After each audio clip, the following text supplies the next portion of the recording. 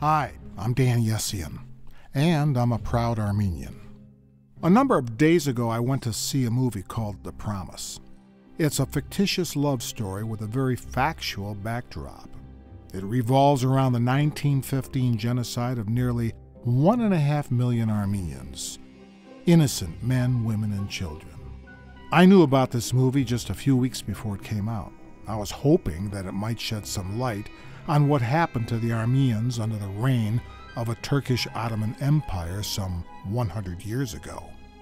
Well, let me tell you, I wasn't disappointed. In fact, I was inspired to address the matter myself.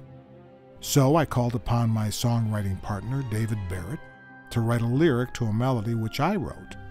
And by the way, David Barrett wrote a song you might be familiar with entitled One Shining Moment, which is played during the NCAA Final Four every year.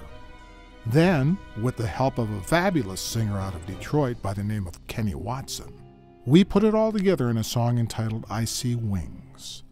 This arrangement was also made possible with the help of our lead violinist, the very talented Sonia Lee, pianist Kurt Schreitmuller, and mixer Ohad Wilner. Needless to say, I was surrounded by some very talented people, and I wanted to share this music with you. And in turn, I hope you'll share it with others. Thank you.